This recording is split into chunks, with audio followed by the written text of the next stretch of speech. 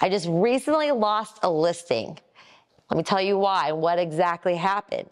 So I recently went on a listing appointment and I was up against another realtor who is in this marketplace as well. I thought the property should have been listed for a lower price and I was confident in that price based on comps and other homes that I had seen and been through in that neighborhood previously.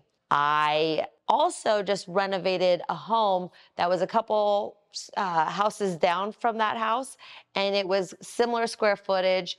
And the seller actually thought that that pro- house probably was a better comp for them. But that house sold a year and a half ago, and that house also was completely renovated and never actually hit the market because it was sold off market. So the only person who really knows what that house looked like was me. So I thought that the price should have been at 1.5 because, in my opinion, homes, when people look for homes, they first look at Zillow, Realtor.com, Redfin before they contact their real estate agent.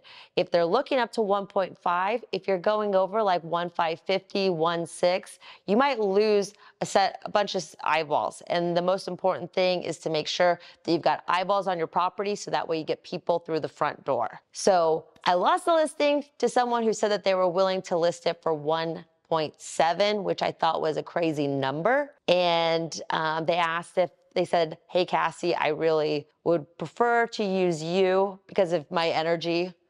And do you feel confident listing it at 1.7? And I had to walk away and I had to say, No, I really am confident with the number that I gave you because one, you got to get eyeballs on the house.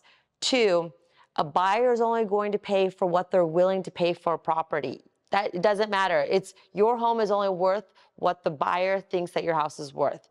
And for them, it's all about mortgage. And so if they can, if they're looking at one five and then they get in the house and they absolutely love it and they could potentially still make their monthly mortgage work at one seven or one six or wherever it is, that's what they're willing to do. But no one's gonna know that unless they're actually desperately wanting that house for themselves and for their family. And then lastly, listing a property too high. I'm actually seeing that quite a bit right now.